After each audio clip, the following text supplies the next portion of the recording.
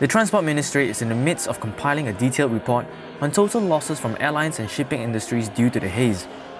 Minister Datuk Sri Liow Tiong Lai says there is no official figure as of yet, but the losses are very substantial in terms of time and money. KLIA, we are okay. We got we got good radar system. We got good uh, visibility system to assist uh, our plane to land. Uh, KLIA will be an important airport. that We have all the uh, technology that we have.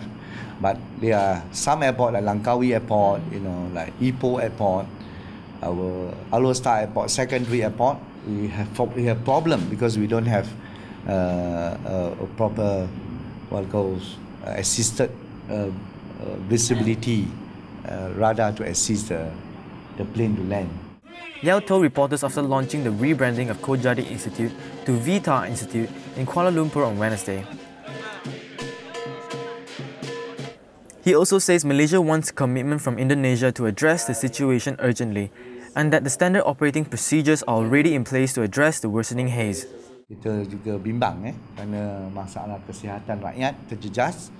Respiratory disease, uh, what we call uh, sickness is increasing now. Uh, asthma number of asthma cases increase.